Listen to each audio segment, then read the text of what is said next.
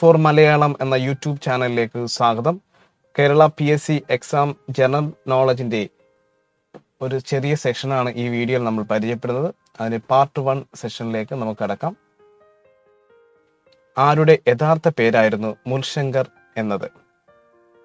ആരുടെ യഥാർത്ഥ പേരായിരുന്നു മുൽശങ്കർ എന്നത്? സ്വാമി ദയാനന്ദ സരസ്വതിയുടെ ബാല്യകാലത്തിൽ അറിയപ്പെട്ടിരുന്ന പേരായിരുന്നു മുൽശങ്കർ എന്നത്. ആര്യസമാജ സ്ഥാപകൻ കൂടിയാണ് സ്വാമി ദയാനന്ദ സരസ്വതി. ആയിരത്തി എണ്ണൂറ്റി എഴുപത്തിയഞ്ചിലാണ് ആര്യസമാജം സ്ഥാപിച്ചത് ശുദ്ധിപ്രസ്ഥാനം ആരംഭിച്ചതും സ്വാമി ദയാനന്ദ സരസ്വതി തന്നെയാണ്. സത്യാർത്ഥ പ്രകാശം എന്ന പുസ്തകം രചിച്ചതും സ്വാമി ദയാനന്ദ സരസ്വതിയാണ്. ആയിരത്തി എണ്ണൂറ്റി എഴുപത്തി അഞ്ചിലാണ് സത്യാർത്ഥ പ്രകാശം എന്ന പുസ്തകം സ്വാമി ദയാനന്ദ സരസ്വതി രചിച്ചത്. കേന്ദ്ര സംഗീത നാടക അക്കാദമിയുടെ അംഗീകാരം ലഭിച്ച രണ്ട് ക്ലാസിക്കൽ നൃത്തരൂപങ്ങളുള്ള ഏക സംസ്ഥാനം ഏതാണ്? കേന്ദ്ര സംഗീത നാടക അക്കാദമിയുടെ അംഗീകാരം ലഭിച്ച രണ്ട് ക്ലാസിക്കൽ നൃത്തരൂപങ്ങളുള്ള ഏക സംസ്ഥാനം ഏതാണ്? കേരളമാണ് ആ സംസ്ഥാനം. ആ രണ്ട് നൃത്തരൂപങ്ങൾ എന്നത് കഥകളിയും മോഹിനിയാട്ടവുമാണ്. രണ്ടായിരത്തി ഇരുപതിലെ ടോക്കിയോ ഒളിമ്പിക്സിന്റെ ഭാഗ്യചിഹ്നം ഏതാണ്? രണ്ടായിരത്തി ഇരുപതിലെ ടോക്കിയോ ഒളിമ്പിക്സിന്റെ ഭാഗ്യചിഹ്നം ഏതാണ്? മിറേത്തോവോ എന്നാണ് ആ ഭാഗ്യചിഹ്നത്തിന്റെ പേര്. രണ്ടായിരത്തി പതിനാറിൽ നടന്ന റിയോഡി ജനീറോയിൽ നടന്ന ഒളിമ്പിക്സിന്റെ ഭാഗ്യചിഹ്നമായിരുന്നത് ഫിനീഷ്യസ് ആൻഡ് ടോം എന്ന പേരാണ്. രണ്ടായിരത്തി പതിനാറിലെ ഭാഗ്യചിഹ്നത്തിനുണ്ടായിരുന്ന പേര്. രണ്ടായിരത്തി പതിനെട്ട് നടന്ന പുരുഷ ഹോക്കി വേൾഡ് കപ്പ് നടന്നത് എവിടെ വെച്ചാണ്? ആരാണ് വിജയിച്ചത്? ഹോക്കി വേൾഡ് കപ്പ് നടന്നത് ഇന്ത്യയിൽ വെച്ചാണ്. അത് വിജയികളായത് ബെൽജിയമാണ് രണ്ടാം സ്ഥാനക്കാരായത് നെതർലാൻഡ്സുമാണ്. മൂന്നാം സ്ഥാനം വന്നത് ഓസ്ട്രേലിയമാണ് ഇന്ത്യ ക്വാർട്ടർ ഫൈനലിൽ തന്നെ പുറത്താകുകയാണ് ഉണ്ടായത്. ജ്ഞാനപീഠം അവാർഡ് നേടിയ ആദ്യ വനിത ആശാ പൂർണ ദേവി ആയിരത്തി തൊള്ളായിരത്തി എഴുപത്തി ആറിലാണ് ജ്ഞാനപീഠം അവാർഡ് നേടിയത്. രണ്ടായിരത്തി പതിനെട്ടിൽ ജ്ഞാനപീഠം അവാർഡ് നേടിയത് അമിത് ഘോഷാണ്. രണ്ടായിരത്തി പതിനേഴിലെ ജ്ഞാനപീഠം അവാർഡ് നേടിയതും ഒരു വനിത തന്നെയാണ്. കൃഷ്ണ സോബ്ദിയാണ് രണ്ടായിരത്തി പതിനേഴിൽ ജ്ഞാനപീഠം അവാർഡ് നേടിയത്. ബ്ലൂ വിട്രിയോൾ എന്നറിയപ്പെടുന്ന സംയുക്തം. ബ്ലൂ വിട്രിയോൾ എന്നറിയപ്പെടുന്ന സംയുക്തം. കോപ്പർ സൾഫേറ്റ് ആണ് സമ്പൂർണമായി സൗരോർജത്തിൽ പറന്ന ആദ്യ വിമാനം. സമ്പൂർണമായും സൗരോർജത്തിൽ പറന്ന ആദ്യ വിമാനം സോളാർ ഇമ്പൾസ് ആണ്.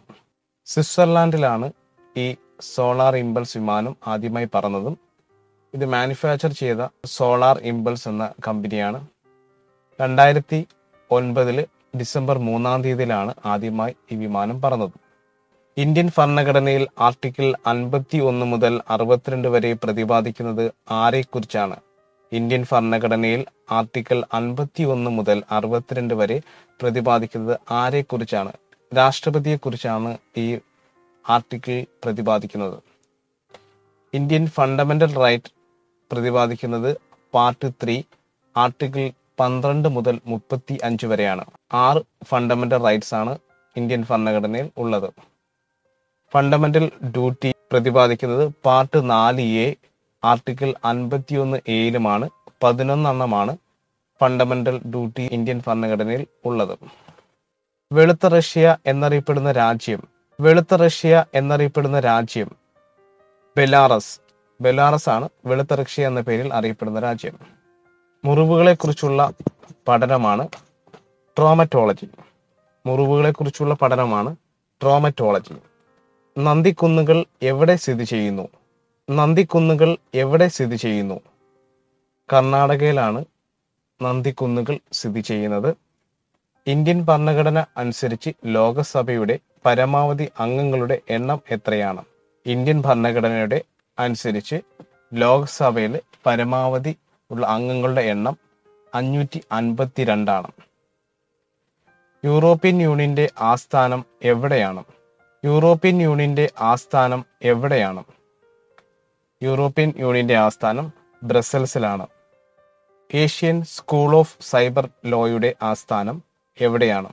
ഏഷ്യൻ സ്കൂൾ ഓഫ് സൈബർ ലോയുടെ ആസ്ഥാനം എവിടെയാണ്? ഏഷ്യൻ സ്കൂൾ ഓഫ് സൈബർ ലായുടെ ആസ്ഥാനം പൂനെയിലാണ്. ഇന്ത്യയിലെ ആദ്യ സൈബർ ക്രൈം പോലീസ് സ്റ്റേഷൻ ഇന്ത്യയിലെ ആദ്യ സൈബർ ക്രൈം പോലീസ് സ്റ്റേഷൻ വന്നത് ബാംഗ്ലൂരാണ്. ഇന്ത്യയിലെ ആദ്യ സൈബർ പോസ്റ്റ് ഓഫീസ് വന്നത് ചെന്നൈയിലുമാണ്. ഇന്ത്യയിലെ ആദ്യ സൈബർ ഫോറൻസിക് ലബോറട്ടറി വന്നത് ഇന്ത്യയിലെ ആദ്യ സൈബർ ഫോറൻസിക് ലബോറട്ടറി വന്നത് ത്രിപുരയിലാണ്. കേരളത്തിലെ ആദ്യ സൈബർ പോലീസ് സ്റ്റേഷൻ വന്നതും കേരളത്തിലെ ആദ്യ സൈബർ പോലീസ് സ്റ്റേഷൻ വന്നതും പട്ടം തിരുവനന്തപുരത്തുമാണ് വന്നത്. ഇന്ത്യൻ നാഷണൽ കോൺഗ്രസിൽ അടുത്തടുത്ത സമ്മേളനങ്ങളിൽ പ്രസിഡന്റായ അച്ഛനും മകനും. ഇന്ത്യൻ നാഷണൽ കോൺഗ്രസിൽ അടുത്തടുത്ത സമ്മേളനങ്ങളിൽ പ്രസിഡന്റായ അച്ഛനും മകനും. മോത്തിലാൽ നെഹ്റുവും ജവഹർലാൽ നെഹ്റുവുമാണ് അടുത്തടുത്ത വർഷങ്ങളിൽ പ്രസിഡന്റായ അച്ഛനും മകനും. മോത്തിലാൽ നെഹ്റു ആയിരത്തി തൊള്ളായിരത്തി ഇരുപത്തി എട്ടിലെ കൽക്കത്ത സമ്മേളനത്തിലും ജവഹർലാൽ നെഹ്റു ആയിരത്തി തൊള്ളായിരത്തി ഇരുപത്തി ഒൻപത് ലാഹോർ സമ്മേളനത്തിലുമാണ് അടുത്തടുത്ത സമ്മേളനങ്ങളിൽ ഇന്ത്യൻ നാഷണൽ കോൺഗ്രസിൽ പ്രസിഡന്റായ അച്ഛനും മകനും. ഏറ്റവും കൂടിയ പ്രായത്തിൽ പ്രധാനമന്ത്രിയായ വ്യക്തി മൊറാജി ദേശായിയാണ്. ഏറ്റവും കൂടിയ പ്രായത്തിൽ ഇന്ത്യൻ പ്രധാനമന്ത്രിയായ വ്യക്തി. എൺപത്തി ഒന്നാമത്തെ വയസ്സിലാണ് പ്രധാനമന്ത്രിയായത്.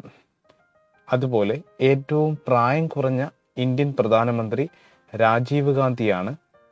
നാൽപ്പതാമത്തെ വയസ്സിലാണ് രാജീവ് ഗാന്ധി ഇന്ത്യൻ പ്രധാനമന്ത്രി ആയത്. വിവരാവകാശ നിയമം പാസാക്കിയ ആദ്യ ഇന്ത്യൻ സംസ്ഥാനം. വിവരാവകാശ നിയമം പാസാക്കിയ ആദ്യ ഇന്ത്യൻ സംസ്ഥാനം തമിഴ്നാടാണ്. തമിഴ്നാടാണ് ആദ്യമായി വിവരാവകാശ നിയമം പാസാക്കിയ ആദ്യത്തെ ഇന്ത്യൻ സംസ്ഥാനം. ടെലഫോണിലൂടെ വിവരാവകാശ നിയമപ്രകാരം അപേക്ഷ സമർപ്പിക്കാനുള്ള സംവിധാനം ഏർപ്പെടുത്തിയ ആദ്യ ഇന്ത്യൻ സംസ്ഥാനം. ടെലഫോണിലൂടെ വിവരാവകാശ നിയമപ്രകാരം അപേക്ഷ സമർപ്പിക്കാനുള്ള സംവിധാനം ഏർപ്പെടുത്തിയ ആദ്യ ഇന്ത്യൻ സംസ്ഥാനം ഉത്തർപ്രദേശാണ്. ടെലഫോണിലൂടെ വിവരാവകാശ നിയമം സമർപ്പിക്കാനുള്ള സംവിധാനം ആദ്യമായി കൊണ്ടുവന്ന സംസ്ഥാനം ഉത്തർപ്രദേശാണ്. ഇന്ത്യ ചരിത്രത്തിൽ പദവിയിലിരിക്കെ വധിക്കപ്പെട്ട ഏക വൈസ്രോയി ആര്? ഇന്ത്യ ചരിത്രത്തിൽ പദവിയിലിരിക്കെ വധിക്കപ്പെട്ട ഏക വൈസ്രോയി ആര്? മേയോ പ്രഭുവാണ് പദവിയിലിരിക്കെ വധിക്കപ്പെട്ട ആദ്യത്തെ വൈസ്രോയി. ഇന്ത്യയിൽ ആദ്യമായി സെൻസസ് കൊണ്ടുവന്നതും മേയോ പ്രഭുവാണ് ആയിരത്തി എണ്ണൂറ്റി എഴുപത്തിരണ്ടിലാണ് സെൻസസ് ആദ്യമായി കൊണ്ടുവന്നത്. ആയിരത്തി എണ്ണൂറ്റി അറുപത്തി ഒമ്പത് ഒക്ടോബർ രണ്ടാം തീയതി ഗാന്ധി ജനിച്ച ആ കാലഘട്ടത്തിലും ഇന്ത്യയുടെ വൈസ്രോയി ആയിരുന്നു മേയോ പ്രഭു സ്റ്റാറ്റിസ്റ്റിക്കൽ സർവേ ഓഫ് ഇന്ത്യ സ്ഥാപിച്ചതും മേയോ പ്രഭുവാണ് സ്റ്റാറ്റിസ്റ്റിക്കൽ സർവേ ഓഫ് ഇന്ത്യ സ്ഥാപിച്ചതും മേയോ പ്രഭുവാണ് ഇന്ത്യയിലെ ഏറ്റവും പഴക്കമുള്ള അർദ്ധ സൈനിക വിഭാഗമായ ആസാം റൈഫിൾസിന്റെ ആസ്ഥാനം ഏത് സംസ്ഥാനത്താണ്? ഇന്ത്യയിലെ ഏറ്റവും പഴക്കമുള്ള അർദ്ധ സൈനിക വിഭാഗമായ ആസാം റൈഫിൾസിന്റെ ആസ്ഥാനം ഏത് സംസ്ഥാനത്താണ്? മേഘാലയ. മേഘാലയയുടെ ആണ് ആസാം റൈഫിൾസിന്റെ ആസ്ഥാനം സ്ഥിതി ചെയ്യുന്നത്. കിഴക്കിന്റെ സ്കോട്ട്ലാൻഡ് എന്ന പേരിലും മേഘാലയ അറിയപ്പെടുന്നു. ഷില്ലോങ് ആണ് മേഘാലയയുടെ തലസ്ഥാനം. സോവിയറ്റ് നാട് രചിച്ച കേരള മുഖ്യമന്ത്രി.